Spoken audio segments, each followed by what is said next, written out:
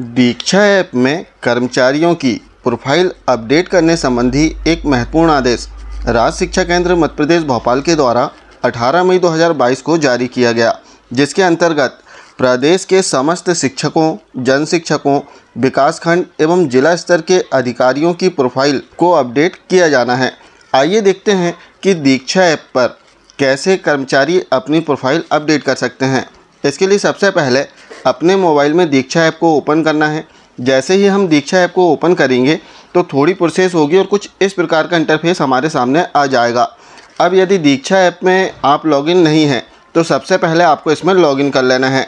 Login करने के लिए लेफ़्ट कॉर्नर पर जो तीन आड़ी लाइनें दिख रही हैं, इस पर आपको क्लिक करना है। जैसे ही आप क्लिक करेंगे तो सबसे लास्ट में एक ऑप्शन आएगा लॉगिन का। आपको सिंपली इस पर क्लिक कर देना है। अब यदि आप मध्य प्रदेश के शिक्षक कर्मचारी हैं तब आपको इसमें जो बीच में ऑप्शन है लॉगिन विथ स्टेट सिस्टम इस ऑप्शन पर क्लिक करना है। जैसे आप क्लिक करेंगे तो एक नया इंटरफेस ओपन होगा, जहाँ से आपको अपना स्टेट सेलेक्ट करना होगा। तो यहाँ से आपको अपना स्टेट मध्य प्रदेश सेलेक्ट कर लेना है और इसके उपरांत सबमिट इस ऑप्शन पर क्लिक कर दें। सबमिट कर देने के उपरांत लॉगिन पेज ओपन हो जाएगा दीक्षा ऐप का। अब यहाँ पर यूज़र नेम और पासवर्ड फिल करना है। यूज़र नेम आपका यूनिक आईडी और पासवर्ड जो भी एजुकेशन पोर्टल का आपका पासवर्ड है, वो पासवर्ड आपको इसमें फिल कर देना है।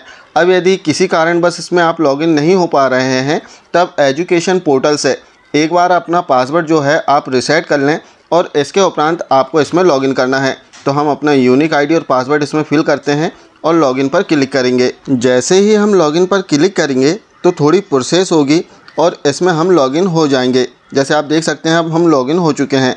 अब प्रोफ़ाइल अपडेट करने के लिए इसमें लास्ट में जो प्रोफ़ाइल का ऑप्शन दिया है सिंपली आपको इस पर क्लिक करना है। जैसे आप क्लिक करेंगे तो यहाँ पर आपका नाम आ जाएगा और एक ग्रीन टिक भी आपको दिखाई देगा। साथ में अपनी जो स्टेट डिस्ट्रिक्ट ब्लॉक की डिटेल है स्कूल की डिटेल है, वो भी आपको दिखाई देगी। अब प्रोफ़ाइल अपडेट करने के लिए इसमें एडिट का जो ऑप्शन है सिंपली आपको इस पर क्लिक करना है। जैसे आप क्लिक करेंगे तो यहाँ पर आप देख सकते हैं आपकी डिटेल इसमें ऑटो फिल मिलेगी। आपको कुछ इन्फॉर्मेशन फिल करना है। जैसे सबसे पहले तो आप देख लें, अपना नाम लिखा हुआ है। इसके उपरांत इसमें आपका जो रोल है, वो दिया है। इसके पश्चात आप देखेंगे, इसमें स्टेट दिया है डिस्ट्रिक्ट दिया है और ब्लॉक दिया है। अब आपको क्लस्टर जो जनशिक्षा केंद्र है आपका, इसे सेलेक्ट करना है। तो जो भी आपका जनशिक्षा केंद्र हो, वो सेलेक्ट कर लें और सबमिट पर क्लिक करें। इसके पश्चात स्कूल यहाँ ऑटो सेलेक्ट हो जाएगा। यदि स्कूल का नाम ना आए, तब आप क्लिक करके यहाँ से अपना स्कूल भी सिलेक्ट कर सकते हैं और इसके उपरांत सबमिट कर दें।